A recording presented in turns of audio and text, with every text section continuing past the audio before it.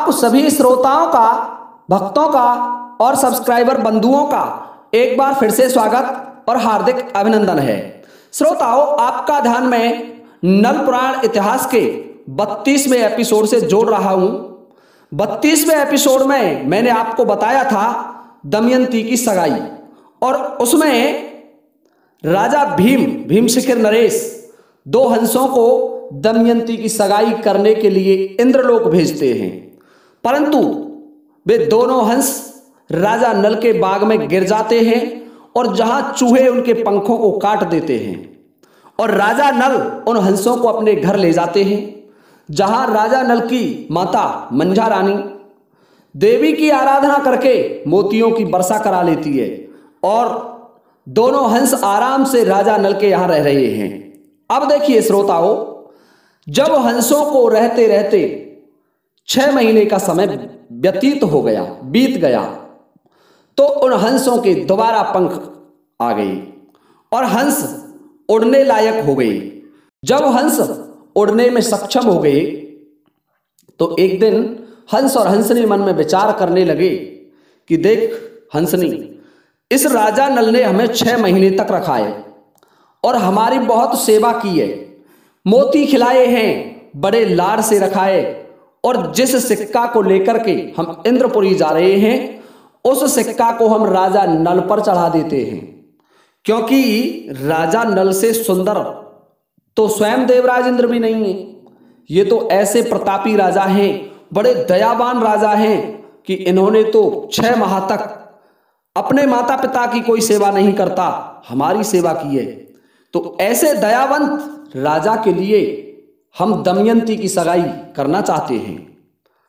तो हंस और हंसनी ये दोनों विचार विमर्श कर रहे हैं। हंस कहने लगा, हंसनी, यदि हम सगाई इस राजा नल के यहाँ करते हैं तो हमारे महाराज भीम क्रोधित होंगे और राजा क्रोधित होकर के हमें मरवा सकते हैं। तो हंसनी कहने लगी, महाराज, मरने से तो हम बड़ी मुश्किल से अब बचे हैं, और यदि राजा भीम हमें मरवा भी देगा तो भी कोई बात नहीं है। यदि महाराज भीम हमें फांसी की सजा भी देगा तो भी कोई डर नहीं है। परंतु हम ये सगाई राजा नल पर चढ़ा देते हैं। ये सिक्का राजा नल पर चढ़ा देते हैं। दमयंती की सगाई राजा नल के साथ कर देते हैं। हे श्रोताओ, ये हंस हंसनी विचार करके एक दिन राजा नल के पास आते हैं और राजा नल से कहने लगे कि, देखिए महाराज अब हम जाना चाहते हैं तो नल कहने लगा, देखो मित्रों, आप आराम से जाइए और जो काम आपके महाराज ने दिया है, उसे सहर्ष करके आइए। हंस कहने लगा, महाराज नल, हम आपसे एक निवेदन करना चाहते हैं। तो ये बात सुनकर के राजा नल कहने लगे, कहो हंसो, क्या निवेदन करना चाहते हैं कि देखो, महाराज आपने छह माह तक हमें शरण प्रदान की, हमारी सेवा की और हमारे अब पंख आ गए। तो हम उड़ने में सक्षम भी आपकी ही सहायता से हुए हैं। इसलिए हम आपको, आपके उपकार के बदले में कुछ करना चाहते हैं। राजा नल कहने लगे, कहो मित्रों, आप क्या कहना चाहते हैं, क्या करना चाहते हैं? वैसे तो मेरा जो कर्म था, मैंने किया। आपकी सेवा करना मेरा सबसे बड़ा धर्म था उस समय, क्योंकि आपको मेरी आवश्यकता थी। तो ये बात सुनकर के हंस और हंसनी कहने लगे कि महाराज नल, राजा भीम की पुत्री दमयंती परम सुंदरी है। उसके समान सुंदर स्त्री देवलोक में भी नहीं है। इसलिए हम उसकी सगाई आपकी करके जाते हैं। जो सिक्का राजा भीम ने इंद्र के लिए भेजा था उस सिक्का को तुम पर चढ़ा कर जाते हैं। देखिए श्रोताओं, राजा नल कहने लगा, अरे हंसो, मेरे तो पहले से ही गजमोतनी रानी है। मेरी रानी परम सुंदर है, समस्त विद्याओं में निधान है, इसलिए मैं ये सिक्का नहीं ले सकता। तो हंस कहने लगा, महाराज, देखिए राजाओं के तो सौ सौ रानियाँ रहती थी। तुम्हारे पिता महाराज वीरसेन के यहाँ भी एक सौ एक रानी थी। हे हे राजन, तुम दो विवाह करने में डर रहे हो, जबकि राजा तो सौ सौ रानी रखते थे। नल कहने लगा, देखो हंसो, मैं विवाह अवश्य कर सकता हूँ, परंतु मेरी जो रानी है गजमोतनी, मैं उसे वचन दे चुका हूँ कि मैं दूसरा विवाह नहीं करूँगा। परंतु हंस कहने लगे, महाराज, इसमें क्या दिक्कत है आपको? दो ब्याह करना तो राजाओं के लिए कोई बड़ी बात नहीं है। आप ये सगाई ले लीजिए। राजा नल कहने लगा, देखो हंसो, तुम्हें एक शर्त पर मेरी सगाई करनी पड़ेगी। मैं तुम्हारा निवेदन स्वीकार करता हूँ कि तुम्हें यह सगाई चुपचाप चल करके जहाँ घुड़साल है, वहाँ करनी पड़ेगी। वहाँ कोई नहीं होगा, केवल मैं अकेला हूँगा और आपको तब मेरी सगाई करनी पड़ेगी। हंस कहने लगे, महाराज, हमें तो सिक्का चढ़ाना है आप पर। आप जहाँ चाहें, वहाँ चढ़वा लीजिए। देखिए श्रोताओ, राजा नल हंसों के कहने से तैयार हो जाते हैं दूसरी सगाई लेने के लिए। और आ जाते हैं घुड़साल में, जहाँ उनके पास कोई भी व्यक्ति नहीं था। और हंसों ने घुड़साल में राजा नल की सगाई कर दी। राजा नल पर सिक्का चढ़ा दिया और सिक्का चढ़ाने के बाद राजा नल ने हंसों को सम्मान सहित विदा कर दिया। दोनों हंस सम्मान सहित विदा होकर के चल देते हैं भीम शिखर की तरफ़। देखिए श्रोताओं, हंसों को भीम शिखर पहुँचने में एक दिन का समय लगा और एक दिन में हंस भीम शिखर पहुँच गई। जब राजा भीम ने देखा कि उसके हंस वापस लौट आए हैं तो राजा भीम उन्हें देख करके कहने लगा, अरे हंसो तुम्हें छह महीने हो गए। तुम कहाँ चले गए थे? मैंने तुम्हें इंद्रपुरी भेजा। क्या महाराज इंद्र ने आपको इतने समय तक रोके रखा? आप इतना कैसे रुक गए? हंस कहने लगे राजा। हम क्या बताएँ? तो ये बात राजा भीम ने सुनी। भीम कहने लगे, कहो हंसो, क्या बात है जो, जिसे आप बताना नहीं चाहते? जिस बात को आप छिपाना चाह रहे हैं कि महाराज भीम, जब हम इधर से गए थे तो मार्ग में बादलों ने घेर लिया। तीव्र आंधी आई और उसमें हम एक नरवरगढ़ नामक राज्य था, वहाँ गिर गए। जैसे हम गिरे तो हमारे पंखों में चूहे घुस गए और उन चूहों ने हमारे पंख काट दिए। हम उड़ने में सक्षम नहीं रहे। और वहीं नरवर के महाराज, राजा प्रथम के पुत्र, राजा नल जो चार कला से अवतार भी हैं और स्वयं देवराज इंद्र के समान सुंदर हैं। उनसे भी बढ़कर उनकी कांति, उनकी ख्याति और वीरता है। ऐसे राजा नल हमें उठा करके अपने घर ले गए, अपने राजमहल में ले गए, जहाँ उन्होंने छह माह तक हमारी सेवा की और हमारे जब पंख आ गए, हम उड़ने में सक्षम हो गए तो हमने तो उसकी दयालुता और उसकी सेवा को देख करके, महाराज भीम, तुम्हारी पुत्री दमयंती का सिक्का नरवर के राजा नल पर चढ़ा दिया। अब ये बात सुनकर के राजा भीम और उसके सभासद नीचे को गर्दन कर जाते हैं। वहीं राजा भीम की महारानी कमल दे सुन रही थी। जब रानी कमल दे ने यह सुना कि इन हंसों ने मेरी पुत्री का सिक्का नरवर के राजा नल पर चढ़ा दिया। तो क्रोधित हो गई।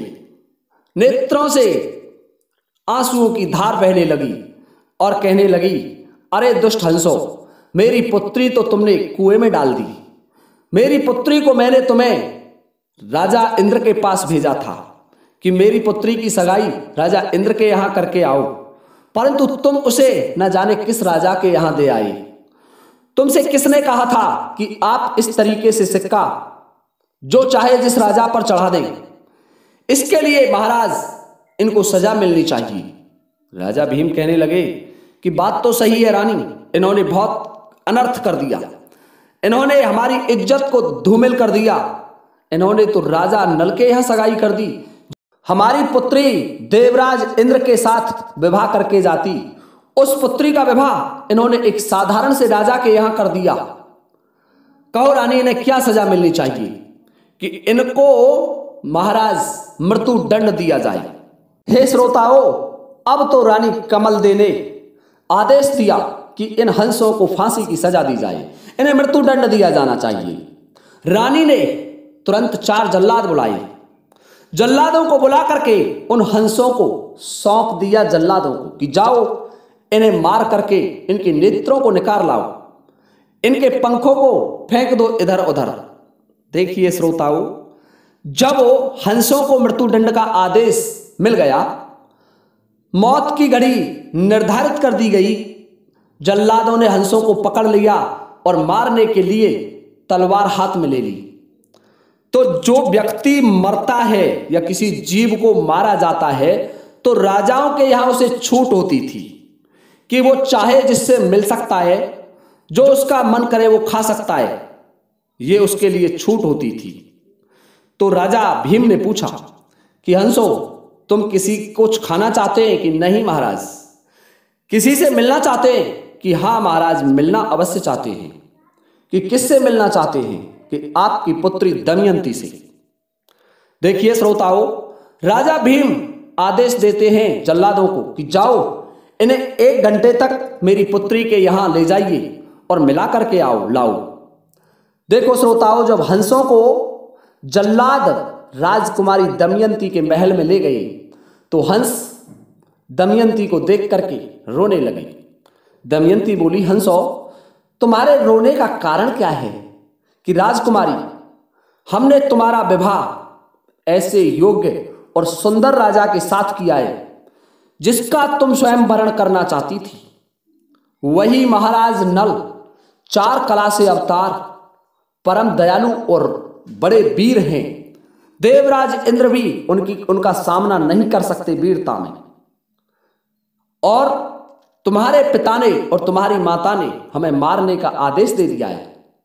जब ये बात दमयंती ने सुनी तो दमयंती ने हंसों को पुचकारा उनको सहलाया, प्यार में बैठाया और कहने लगी कि चिंता मत करो, मैं तुम्हारे प्राण नहीं जाने दूँगी। मैं अभी अपनी माता और अपने पिता को ये यहाँ बुलाती हूँ और उनसे ये निवेदन करूँगी कि इन हंसों को प्राण दान दिया जाए। हे श्रोताओं, राजकुमारी दमयंती ने अपने पिता और अपनी माता को महल में बुलवाया। जब रानी कमलदे और महाराज भीम गजमोतनी के कक्ष में पहुँचे तो गजमोतनी कहने लगी, इन हंसों का कोई दोष नहीं है महाराज। इन हंसों ने वही काम किया जो इन्हें करना चाहिए था। इन्हें इसलिए मुक्त कर दिया जाए। इन्हें यह सजा माफ़ कर दी जाए। राजकुमारी दमयंती अपने पिता से कहने लगी कि पिताजी, इन हंसों का मृत्युदंड माफ़ किया जाए। ये निर्दोष हैं। ये तो बेचारे आपका आदेश के अनुसार मेरे सिक्के को लेकर इंद्र लोग जा रहे थे। लेकिन मार्ग में जब ये फंस गए और राजा नल ने इनकी सहायता की तो महाराज उसके उपकार के बदले में इन्होंने मेरा सिक्का राजा नल पर चढ़ा दिया। इनकी इसमें कोई गलती नहीं है। हे श्रोताओं, दमयंती की बात सुनकर के राजा और रानी कमल दे और हंसों का जो दंड था वो माफ़ कर देते हैं कि जाइए हम तुम्हें माफ़ करते हैं, परंतु तुम्हें हमारा ये काम दोबारा करना पड़ेगा। तुम्हें इंद्रलोक जाना पड़ेगा और वहाँ दमयंती का सिक्का चढ़ा के आना होगा। श्रोताओं, हंसों ने मना कर दिया कि महाराज, अब हम इतने उड़ने में सक्षम नहीं है। हमारे ये नए पंख आए हैं और इनकी सहायता से हम इंद्रलोक नहीं जा सकते। परंतु राजा भीम के यहाँ बहुत हंस थे। तो राजा भीम ने हंस का एक जोड़ा फिर बुलाया और दोबारा सिक्का लिखवाया। सिक्के में दमयंती का नाम लिखा, अपना नाम लिखा और राजकुमारी के विवाह का समय लिख दिया। विवाह की शर्तें लिख दी और सिक्का भिजवा दिया इंद्रलोक के लिए। श्रोताओं, उन हंसों ने कुछ ही समय में, अधिक समय नहीं लगाया, इंद्रलोक को प्रस्थान करने में और लगातार सफ़र करने के बाद पहुँच जाते हैं देवराज इंद्र के दरबार में। और जब हंसों का जोड़ा देवराज इंद्र के यहाँ पहुँचा तो देवराज इंद्र ने उन हंसों का बड़ा सम्मान किया। देवराज इंद्र से हंस कहने लगे कि, महाराज, हम राजा भीम के हंस हैं और हमारे महाराज की पुत्री राजकुमारी दमयंती विवाह के योग्य हो गई है और उसका सिक्का लेकर के हम यहाँ आए हैं। हे राजन आप इस राजकुमारी के सिक्के को स्वीकार कीजिए। हमारा ये महाराज का अनुग्रह है, महाराज का निवेदन है कि देवराज इंद्र हमारी सगाई अवश्य ले लेंगे। श्रोताओं, देवराज इंद्र तो नारद से पहले ही सुन चुके थे दमयंती के बारे में। देवराज इंद्र प्रसन्न हो जाते हैं कि वाह, मुझ, मेरे लिए ही दमयंती जन्मी है और मैं ही दमयंती से विवाह करूँगा। श्रोताओं, देवराज इंद्र सहर्ष दमयंती का सिक्का अपने ऊपर चढ़वा लेते हैं। सगाई ले लेते हैं और हंसों को बड़े सम्मान के साथ विदा कर देते हैं भीम शिखर के लिए। हंस भीम शिखर में आ जाते हैं और राजा भीम को संदेशा दे देते हैं कि देवराज इंद्र ने आपकी पुत्री की सगाई स्वीकार कर ली है। देवराज इंद्र आपकी पुत्री का वर्ण करने के लिए तैयार हैं। राजा भीम तो इधर विवाह की तैयारी करने लग जाते हैं। उन्हें तो दमयंती का विवाह करना था, परंतु उनके मन में एक शंका उत्पन्न हो गई। रानी कमलदे और राजा भीम मन में विचार करने लगे कि मेरी पुत्री की दो बारात आएँगी। एक तो राजा नल आएगा, नरवर का नरेश, और दूसरा देवराज इंद्र आएगा। और यदि राजा नल नहीं माना तो देवराज इंद्र को उससे युद्ध करना पड़ेगा। देवराज इंद्र के हाथों नल मारा जाएगा और मेरे विवाह में रक्तपात होगा। यह आशंका भी उन्हें सता रही थी। अब इधर देखिए श्रोताओं, विवाह का समय नज़दीक आ जाता है और राजा नल मन में विचार करने लगे कि अब मैं विवाह करने कैसे चलूँ? क्योंकि मेरी रानी गजमोतनी को मैंने वचन दिया था। कि मैं दूसरा विवाह नहीं करूँगा। देखिए श्रोताओं, जब घुमासुर दैत्य मारा था राजा नल ने तो गजमोतनी ने तीन वचन ले लिए थे कि आप दूसरा विवाह नहीं करोगे। और यदि विवाह करोगे तो मोहर बाँध कर नहीं जाओगे। ये आपको मुझे वचन देना होगा। दूल्हे बनकर नहीं जाओगे। देखिए श्रोताओं, राजा नल ये सोच रहे हैं। वो वचन बार बार राजा नल के दिमाग में कौंद रहे हैं। राजा नल ने एक खत लिखा। खत लिख करके अपने मित्र मनसुख को भेज दिया।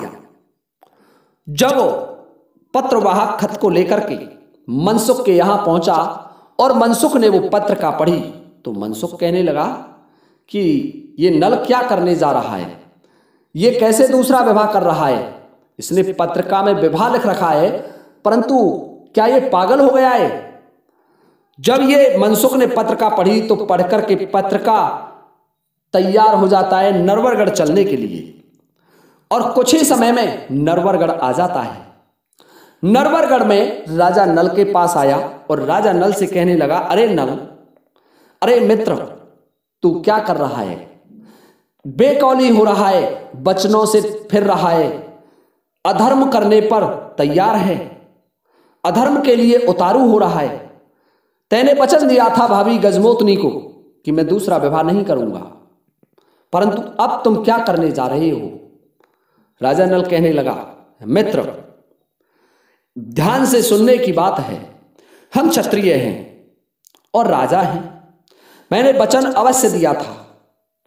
परंतु जब मेरे ऊपर सिक्का चढ़ा दिया गया, मेरी सगाई हो गई तो मित्र सोचिए जिस लड़की का सिक्का मेरे ऊपर चढ़ गया, जिसकी सगाई मेरे साथ हो गई, और उसे कोई दूसरा नरेश विवाह करके ले जाए तो क्षत्रिय जीवन के लिए धिक्कार है। इसलिए, मित्र, चाहे गजमोतनी मर, या नरवर नरे, नरवर राज्य नष्ट हो जा, या नल मर, या मनसुख मर, कोई भी मर सकता है, लेकिन दमयंती से विवाह अवश्य होगा। नल की बात सुनी तो मनसुख कहने लगा, मित्र, तुम बहुत गलत काम कर रहे हो। परंतु देखिए, यदि ऐसी ही बात है तो चलो, यहाँ नहीं, हम तुम दोनों चलेंगे। चुपचाप चलना है, ना कोई बारात साथ में लेंगे, ना कोई सेना साथ में लेंगे। गजमोतनी भाभी को इसका पता भी नहीं लगना चाहिए कि हम विवाह करने के लिए भीम शिखिर जा रहे हैं। परंतु यहाँ से आगे का जो वर्णन है, वो आपको मैं कल के वीडियो में सुनाऊँगा। कल क्या होगा? देखते हैं गजमोतनी मरती है या जीवित रहती है। नल दमयंती का ये बड़ा अच्छा सुंदर प्रसंग मैं आपकी सेवा में प्रस्तुत कर रहा हूँ। यदि आपको वीडियो पसंद आता हो, श्रोताओं तो वीडियो को लाइक और शेयर करना ना भूलें। इसी के साथ आप सभी से अनुमति लेते हुए ये वीडियो मैं समाप्त करता हूँ। जय हिंद, जय भारत।